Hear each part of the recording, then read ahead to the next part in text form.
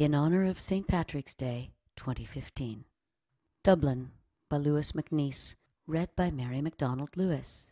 Grey brick upon brick, declamatory bronze on sombre pedestals, O'Connell, Grattan, Moore, and the brewery tugs and the swans on the balustraded stream, and the bare bones of a fanlight over a hungry door, and the air soft on the cheek, and the porter running from the taps with a head of yellow cream, and Nelson on his pillar watching his world collapse.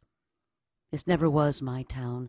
I was not born or bred nor schooled here, and she will not have me, alive or dead, but yet she holds my mind with her seedy elegance, and her gentle veils of rain, and all her ghosts that walk, and all that hide behind her Georgian facades, the catcalls and the pain, the glamour of her squalor, the bravado of her talk.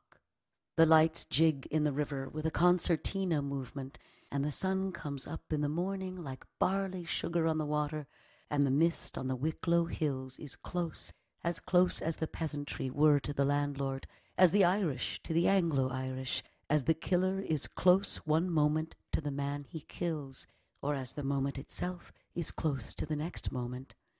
She is not an Irish town, and she is not English, historic with guns and vermin, and the cold renown of a fragment of church Latin, of an oratorical phrase, but oh, the days are soft, soft enough to forget the lesson better learnt, the bullet on the wet streets, the crooked deal, the steel behind the laugh, the four courts burnt. Fort of the Dane, garrison of the Saxon, Augustan capital of a Gaelic nation, appropriating all the alien brought.